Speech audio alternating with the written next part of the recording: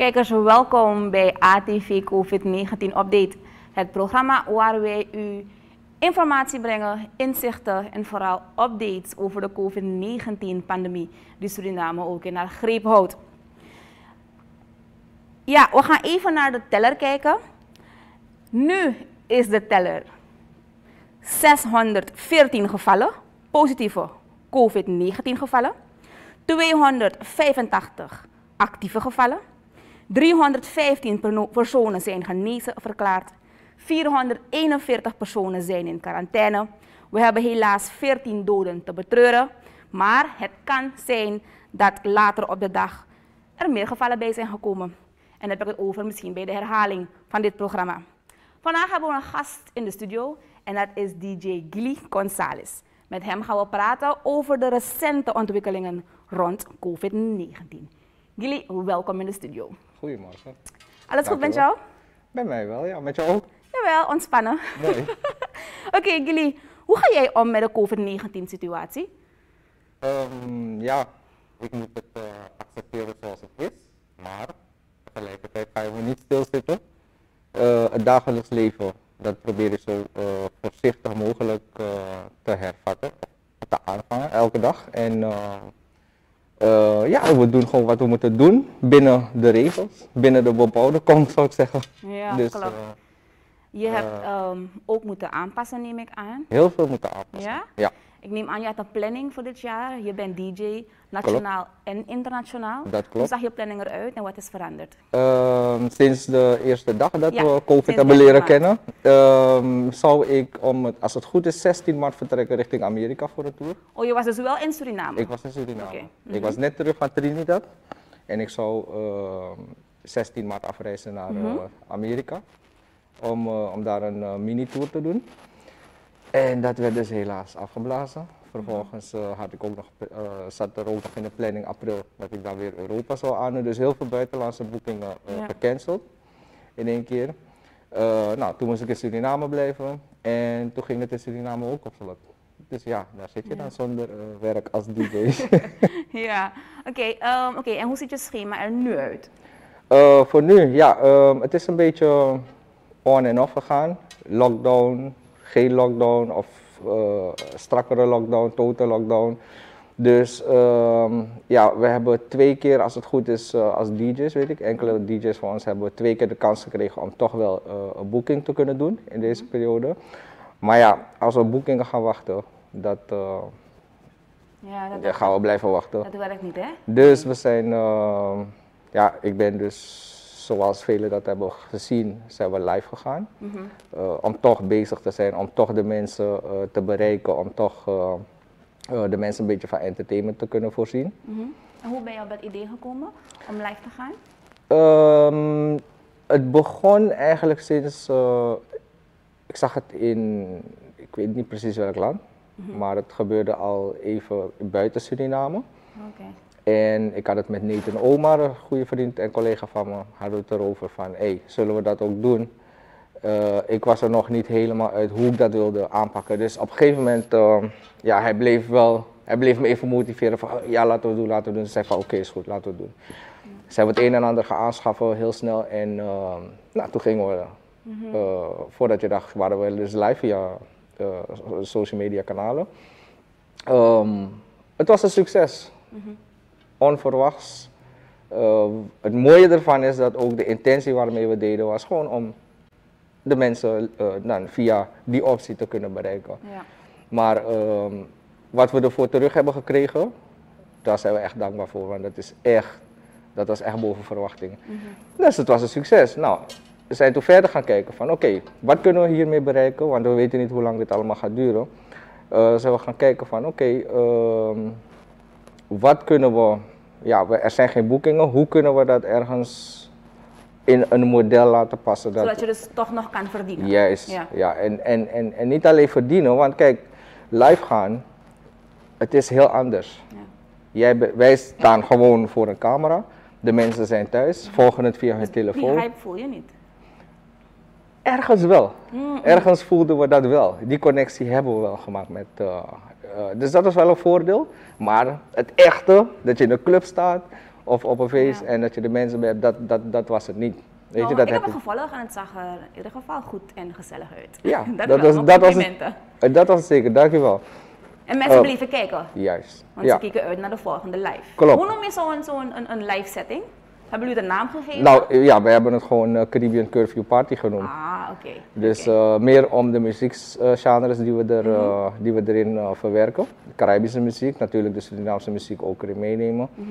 En we wilden het lekker tropisch houden, weet je, het warme gevoel, de warme sferen. Ja. Ehm, het is Caribbean Curfew Party, we hebben zes edities gedaan. Binnen, mm, ik wil zeggen, zes weken tijd. Mhm. Ja, zoiets. En op een gegeven moment, ja, dan merk je toch wel, want we hadden wel sponsoren, Mhm. sponsors, ehm, maar veelal in middelen. Oh ja. Eh, dus niet financieel. Oké, maar ik neem aan dat je het niet alleen, je kan het niet in je, in je eentje. Je hebt een team nodig om je te hadden een- ondersteunen. Ja, En, hoe heb je dat klaargespeeld? Hebben ze het een, een prodeo gedaan? Eh, ja, we hebben het allemaal eigenlijk uh, pro deo gedaan. Ah, oké. Ja. oké. Ehm, we hebben natuurlijk, kijk, we hebben allemaal, eh, tenminste ik neem aan, nou voor mezelf praten, Ja. we hebben, we hebben, of, ik, heb, eh, ik heb wel een reserve, natuurlijk, als je werkt spaar je ook. Ja, Dus ehm, maar dat daarmee, ook op, hè? daarmee kon je de kosten dan dekken. Ja. Ik bedoel, eh, je bent wel een aantal uren bezig. Eten moet er zijn, drinken moet er zijn. Even. Er moet, eh, iemand moet misschien uitrijden, er moet getankt worden. Dus je hebt wat kosten.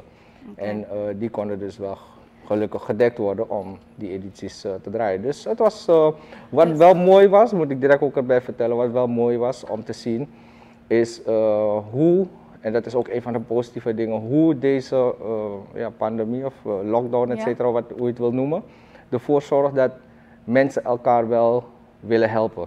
Weet je, willing zijn om, om een doel te bereiken en samen gewoon alles eh, bij elkaar zetten van oké, kom, let's do this. Weet je, en daar, ben- daar, middels deze wil ik, wil ik mijn team alsnog bedanken, weet je. Eh, als ik ze niet genoeg heb bedankt. Maar Ja. ehm, dat hebben we wel echt ervaren, weet je, dat we dat eh, hebben gedaan. Dus zodoende. Maar ehm, ja, we staan nog steeds, we zijn nog steeds in de Maar jullie lockdown. zijn nog steeds bezig of is het even gestopt? Dat hebben we even on hold gezet. Oh, is on hold. dat kwam meer door de total lockdown. Oh, oké. Ja, maar, Oh, dan, ja. maar dan kan je dus niet bij elkaar zijn. Nee, Snap je? Ik bedoel, het, eh, de opnames. Bijvoorbeeld, Ja, dat, kon, dat kon dus eh, eh, eerst wel. Ja. Ehm, want we hadden de lockdown volgens mij vanaf 8 uur. Mhm. Dus we starten ook om 8 uur. Maar ja, het was tot 5 uur of 6 uur. Ja. Dus dan, ja, dan was het overnachten en dan konden ze dus eh 6 uur weer naar huis. konden ze weer naar huis. Maar met de total lockdown was het dus anders. En dat klopt. werd dan moeilijk om dan de productie uit te kunnen voeren. Oké, prima. Nou, ehm, er is een verbod op vergunningsplichtige evenementen en alle eet- en drinkgelegenheden zijn gesloten. Hoe heeft dit je getroffen? Dit is Eh, nieuw, Maar heb je het over, eh, over recent. over recent? Ja. Ja. Het is lastig. Het is lastig, want eh, je wilt eigenlijk, kijk, wat ik al eerder zei, het is niet alleen het, het, het, het draaien, maar ik bekijk het meer van, ehm, goed, ik kan, ik, kan, ik kan thuis, ik kan mixtapes maken, et cetera, et cetera, maar ergens in het oude normaal wil ik zeggen, Ja. waren we gewend om, om, om, om gewoon heel makkelijk eh, binnen de horeca te kunnen bewegen. Klopt. Weet je, en ehm, ja, dat alles zo, ik, ik weet niet hoor. Ik, eh, op een gegeven moment heb ik ook die knop omgezet hoor, moet ik eerlijk zijn. En ik heb gewoon gezegd van weet je wat, hey, it is what it is. Ja. Is En- accepteren toch? Ja, accepteren en, ehm, en, en gewoon eh, ervoor zorgen dat je in ieder geval niet thuis gaat zitten met eh ezang, ezang, weet je. Je moet, je moet verder. Oké. Nou, er vindt nu versoepeling plaats, maar evenementen en publieke activiteiten mogen nog steeds niet. Dat En hoe ga je daarmee om? Ja, daar voel je wel een beetje de pijn. Oké, daar voel je de pijn. Ja, daar voel je de pijn. En waarom noem ik het pijn? Ehm, je doet het uit liefde. Eh, het is je werk, je doet het uit liefde. Maar ehm, je, we missen het ook. Ehm, dat, dat, dat- daar ben ik 100% eh, eh, van verzekerd dat we het allemaal missen. Maar ik snap het.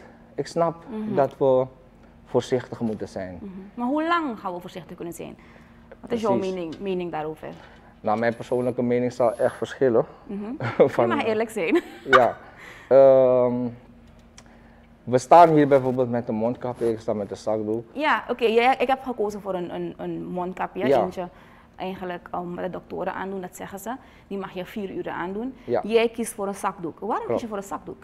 Ehm, voor mij is mijn ademhaling beter eh, met een zakdoek. En het is mijn zakdoek. Ik heb het gekocht, ik heb het gewassen. Ik heb, weet je, dus ehm, eh, het, is, het is voor mij fijner eh, om, om, om, ja, om te communiceren, om het te bewegen. Mhm.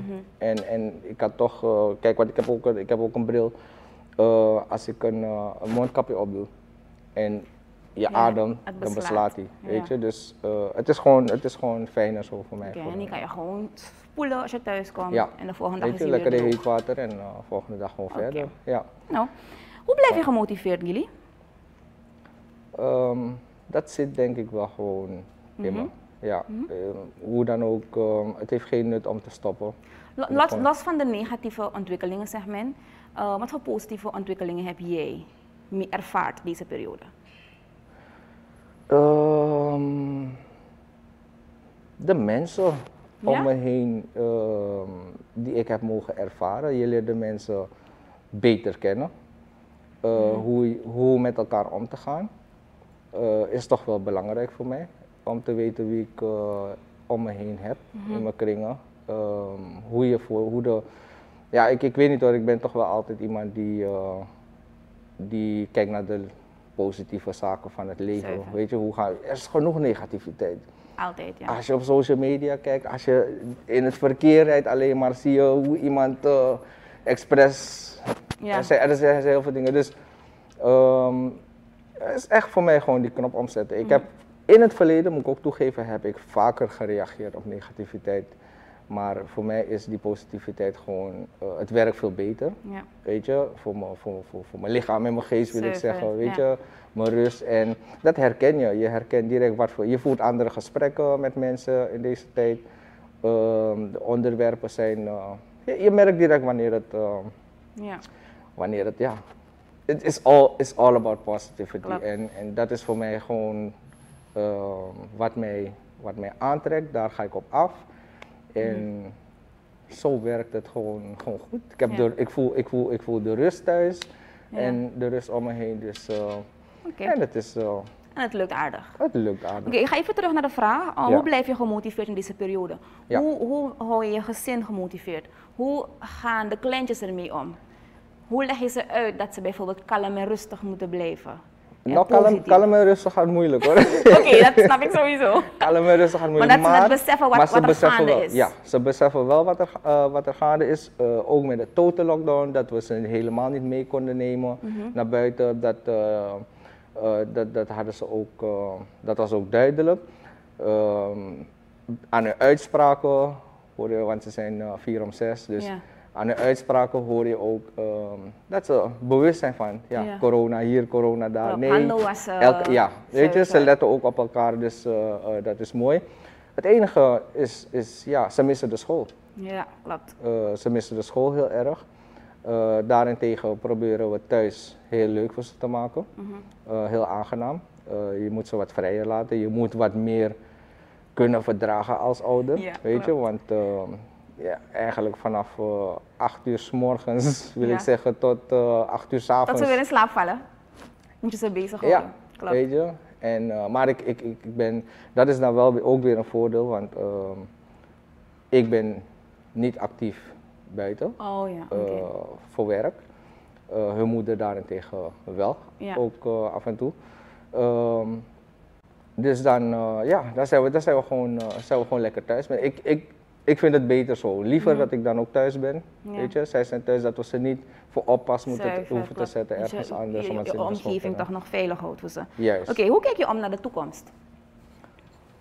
Ehm, ja, wat ik al zei, all about positivity. Dus ik kijk gewoon positief. Eh, we wachten het gewoon af. In de tussentijd eh, probeer je te overleven. Je moet wel. En ik hoop in ieder geval, als ik eh, mag praten over mijn branche, eh, voor de DJ's. Ik weet niet of, ja, men heeft het over de nieuwe normaal. Dus ik weet niet als, eh, hoe het gaat zijn met de clubs, eh, of dat gaat werken. Gaat het werken als we anderhalve meter, op anderhalve meter afstand met mondkapjes in de club moeten gaan feesten? I don't know. Weet je, ik wacht gerustig de, bericht, de berichten af. Maar ik denk wel dat ehm, bijvoorbeeld, en dat is iets wat ik wel ook heb aangehaald, eh, dat bijvoorbeeld openluchtfeestjes, ja.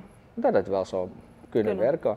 En dat was eigenlijk ook, uh, want ik ben de afgelopen twee dagen even actief geweest op social media, door ehm, mijn stem te laten horen.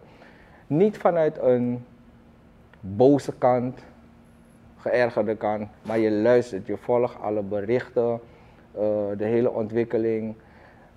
En het moet, ik ben iemand, ik probeer echt logisch, de logica uh, te mhm. vinden in, in zaken. En als iets niet logisch is, dan heb ik daar vragen over. En dan hoop ik dat ik die beantwoord krijg.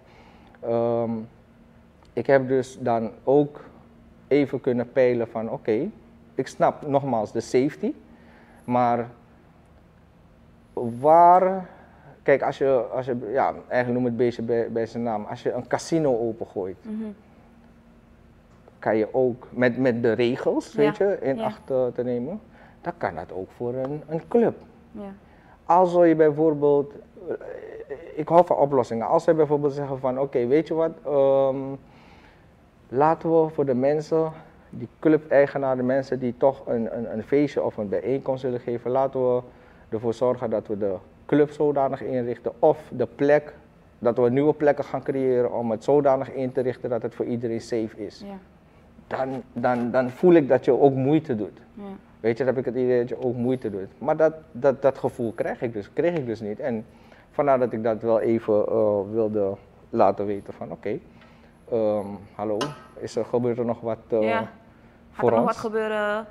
Denken jullie nog aan ons? Ja. We zijn er nog... We gaan richting de toekomst, oké, okay, we gaan richting een nieuwe normaal. Nou, is er ook, kunnen wij ook een beetje zicht krijgen op een... Uh, op een, op een nieuw plan van aanpak?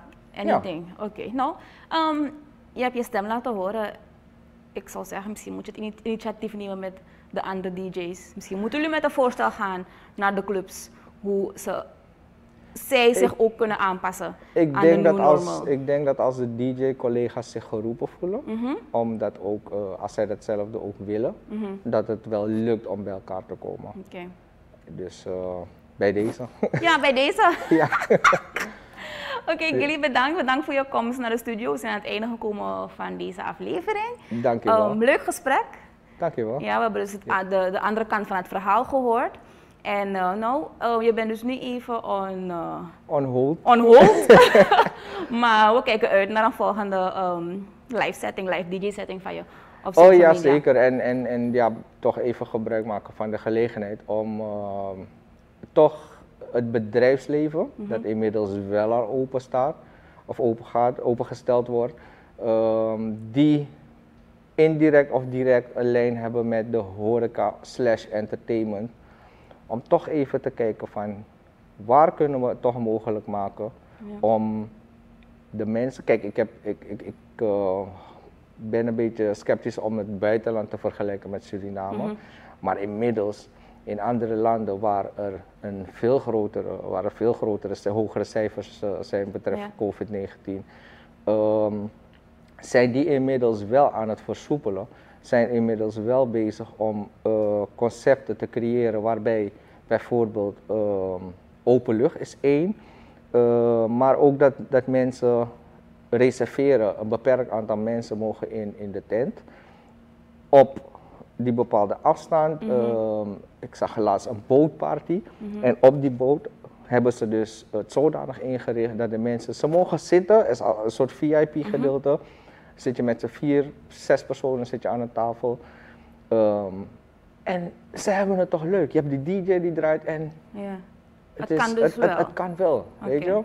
Dus um, ik hoop gewoon dat, uh, dat, we, dat we, ja, het woord creatief ja. uh, valt hierbij. Uh, dat, we dat, uh, creatief, dat we daar heel erg uh, creatief in kunnen zijn en samen kunnen komen om toch te kijken van hé, hey, waar kunnen we elkaar helpen. Oké, okay, je hebt je positieve kanten in elk geval laten zien. Ja. Zeker, zal ik ook altijd blijven doen. Ja, tuurlijk, we hebben dat nodig. Kijkers, um, samen moeten wij de strijd leveren tegen de ziekte. Blijf de voorzorgmaatregelen in acht nemen. Um, als je uit huis gaat, doe je mond- en neusbedekking aan. Uh, was je handen op tijd met zeep en water of gewoon heb een flesje alcohol of hand sanitizer in je tas, zodat je constant kan reinigen. We zijn aan het einde gekomen van deze aflevering van ATV COVID-19 Update en ik wens u een veilige dag verder.